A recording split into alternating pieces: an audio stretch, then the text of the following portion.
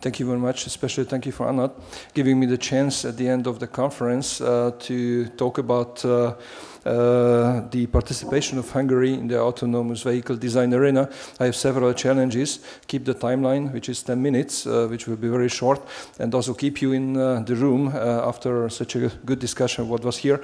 I will try to do my best. If not, the presentation will be available.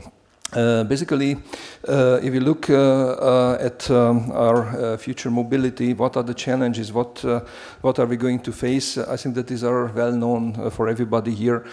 emission is an issue. We need to reduce it. Could it be the emission of harmful gases, or it could be the, also the CO2 emission? Demographic pressure.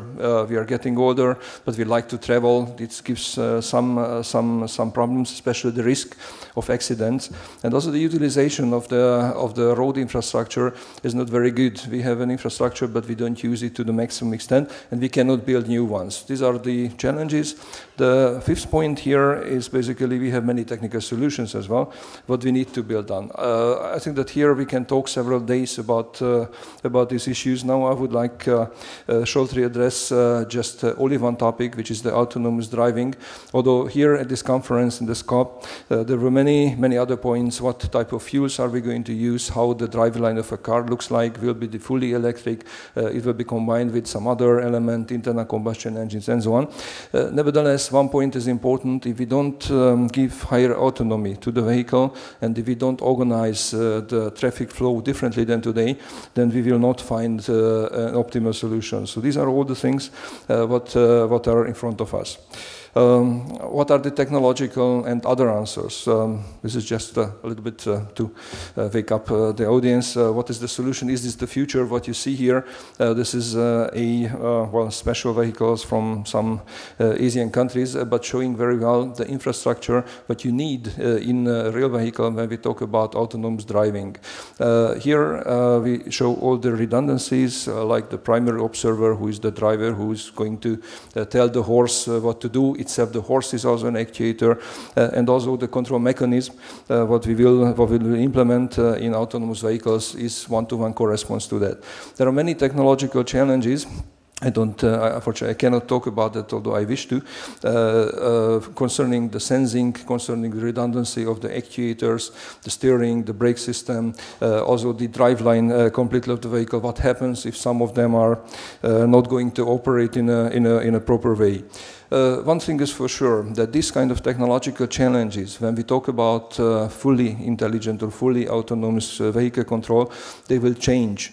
Uh, with the current technology, what we have today, the so-called uh, well uh, fail-safe technology or fail-safe qualification system, we can we can drive the car from A to B as long as we assume that the driver is sitting in the car and he can take over the control anytime. The problem starts when we cannot make this assumption anymore. When the driver is not there or if physically there, but not obliged to take over the control. Then we totally talk about different technological solutions uh, and also different type of system architectures. Uh, besides the uh, technical uh, issues, we have uh, very many non-technical issues. Legal issues, well known, who's responsible if something happens, uh, we are going to have mixed traffic for, for several years. So there will be not only autonomous vehicles which are not driven by a human person, but also humans are going to drive their cars. Who's going to be liable for, uh, for that accident? Uh, can we make decisions like uh, hitting the pedestrian, running across the seat, or colliding with the upcoming truck and we are going to die? So these are the issues what we need to, what we need to answer.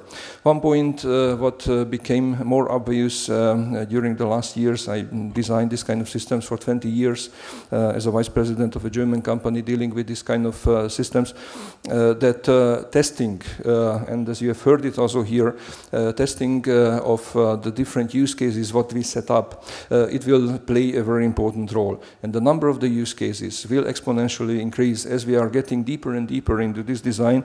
this we, we, will, we will observe. So we need to have testing opportunities. One very important point what uh, I should mention it here, you see here different company logos. These are the companies uh, with whom uh, we are currently in discussion has shown an interest in those test zone testing facilities what we are building in Hungary. What is important to see here that these are not only car manufacturers. We have three uh, major car manufacturers in Hungary who are producing cars. Uh, we have several uh, tier one suppliers. but you see here totally other companies. You see here companies like uh, T-Systems, which is a communication company. You see here companies like IBM, Siemens, who never did any kind of uh, vehicle uh, technologies. And you see here other companies who don't, don't even know the name, but they will, they will participate in this business. So here the validation of uh, the autonomous vehicle and its environment uh, will be a very complicated and a very com complex process, and we need to have specific know-how to that. So, uh, why Hungary? What Hungary has to do with this uh, development? Um, in Hungary, uh, one of the most deterministic industries, the automotive industry, 20% of the GDP is generated by this industry. Uh, and um, um, the um, car manufacturers, but also the tier one, tier two suppliers, they are not only producing anymore. Uh, since 15 years, they brought to Hungary uh, large development centers. And if you ask some of them, the name was shown on the previous chart, whether he's going to start such a project in Palo Alto, the United States, or Stuttgart, or in Budapest, Budapest has as good, well, sometimes even better chances uh, to, to get that project. So that's, this is uh, very shortly the uh, current uh, status of the Hungarian automotive industry. This industry has demands. Has demand for talented people. It is just uh, shown here that Hungarian institutions, primary universities, but also research places, were involved uh, in um, almost all uh, European Union financed large-scale projects dealing with autonomous vehicle drive since 99. In 99, we already had trucks which were following each other without having a driver on the German motorway. It was engineered uh, um, in a good extent in, in Budapest. Of course, uh, that uh, knowledge must be further developed. These companies uh, went to the universities, to the research institutes, and they initiated research programs. Government, sometimes governments can do all other good things. We provide the financing to a comprehensive research program uh, where we tackle all uh, the uh, relevant fields, starting with artificial intelligence up to the software security, cyber security issues. In addition to that, um, we want to position Hungary as um, a hub uh, for uh, this kind of uh, system design. Uh, since uh, two years, uh, we modified the current traffic laws, and we allow that these companies can, they can test autonomous. So it means without driver, they can test vehicles on the normal normal Hungarian roads. they have a registration requirement, but otherwise they can use under certain conditions the, the existing roads how to how to run such a vehicle in the meantime, we are also increase uh, the speed to 260 km per hour and many other things. Um, in addition to the scientific research environment, education, and also the public road testing. Uh, the Hungarian government, uh, a little bit more than one year ago, made a decision that we are going to invest into 140 million uh, euro uh, test field, which is suitable for classic vehicle testing, but at the same time also suitable for, for autonomous vehicle testing. This is this is the role and the task of the government. The specification of uh, such a test field was uh, jointly generated by the companies what you see on the left hand side and many others. I think that most of the names uh, are known to you. These are multinational companies deterministic in this field but there are also some hungarian startup companies like this AImotive they are working uh, together with volvo and also Commsignia which is a communication vehicle to uh, vehicle to vehicle vehicle to infrastructure communication company evopro is a bus company. So there are also hungarian companies are in this eco uh, ecosystem uh, who are supplying several things to the, to the multinational companies. What are we going to build? We are going to build uh, a test track, what you can see here. Uh, the left-hand side shows the phase one.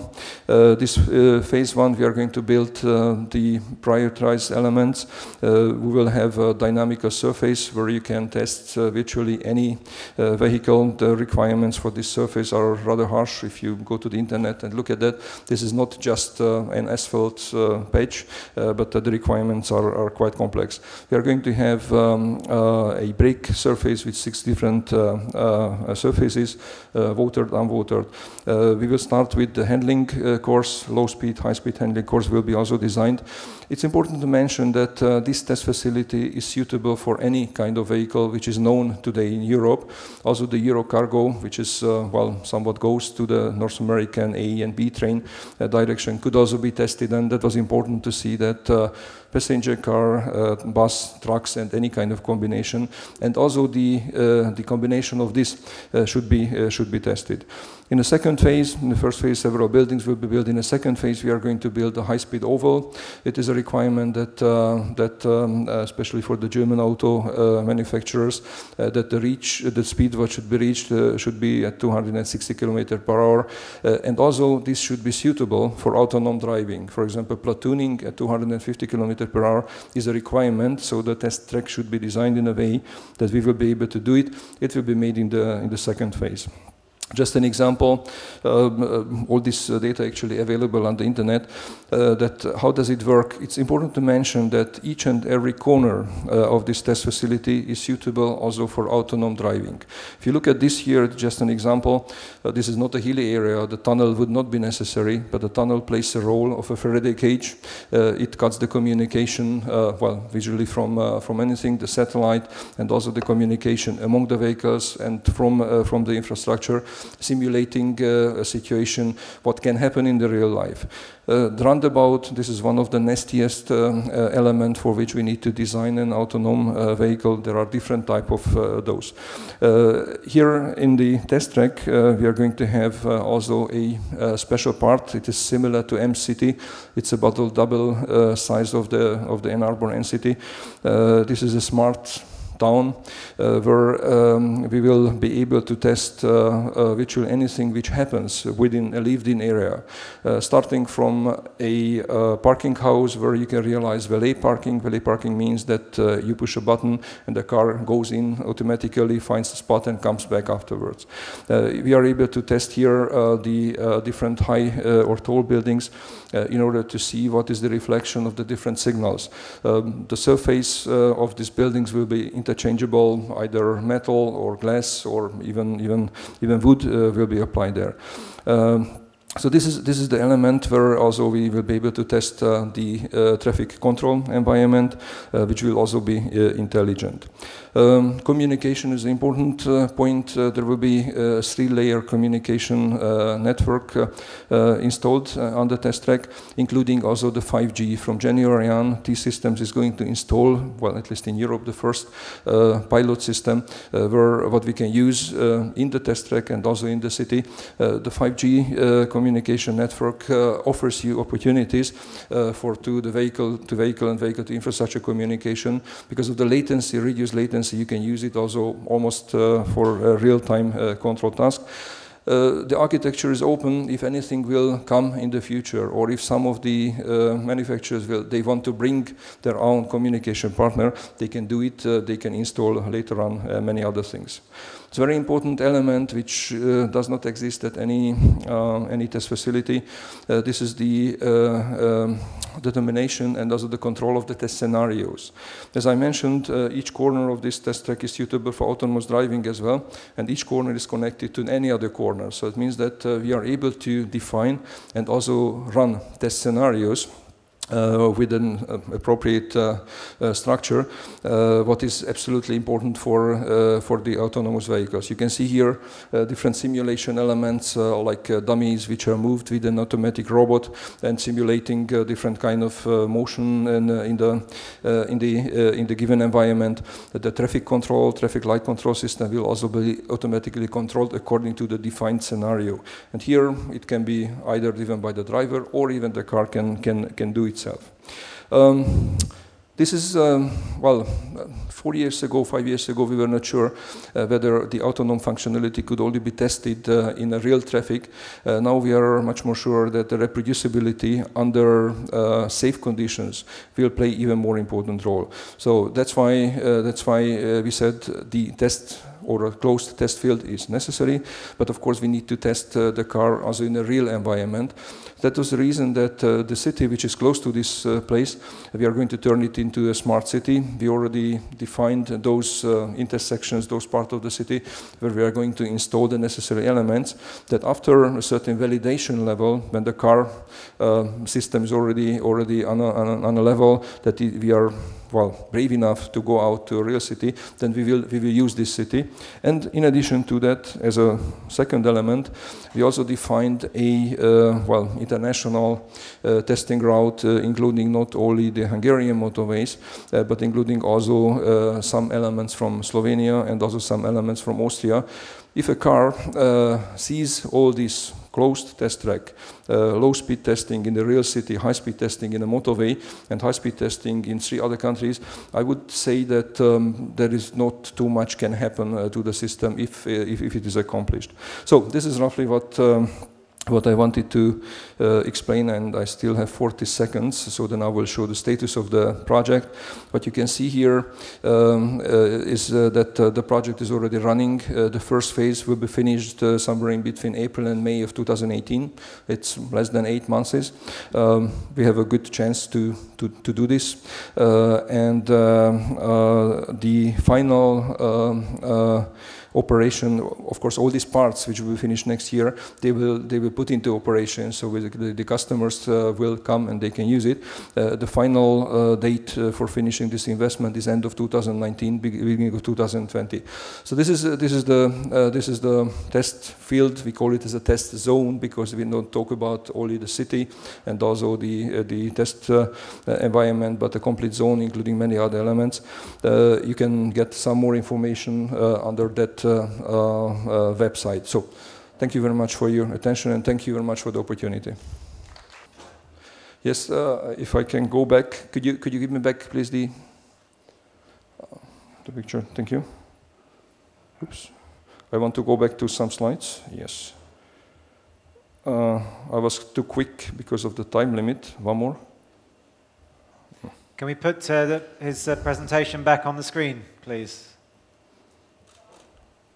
I see it here, but I don't see there. Um, yes, uh, this uh, chart which has shown the control Uh, of uh, the test track. Uh, this is a simulation. This is a simulation environment. This is here. Uh, this is uh, a software which can do two things. first of all, it can control the scenario in reality in the test track, either controlling the car or controlling the test track elements. But at the same time, you are able to read back all the all the recorded data, and it is a simulator, a simulation platform. the test facility has two important, besides of the simulation opportunity two important other elements. One is the sensor cluster, uh, because it really matters that what kind of data are you going to um, uh, collect uh, off-board. On-board, the vehicle is going to have many sensors, but but uh, but off-board. So this is what is being uh, being uh, well acquired, purchased right now. And the other one is that um, what are we going to do with this data? It depends, of course, on the customer. The um, the test track is going to have his own cloud where all the data go up, and then the customer customer can decide what type of data at what uh, level of, uh, of uh, prep preparation is going to, going to have. And one, one element is the simulation. I didn't show it here, but we are going to have also a hardware in the loop simulation opportunity, a test rig, where you can also put the car, and the test rig will be able to do the same what the car is doing in the simulation, in the computational simulation, and also in the test field. That's a part of the service. Thank you.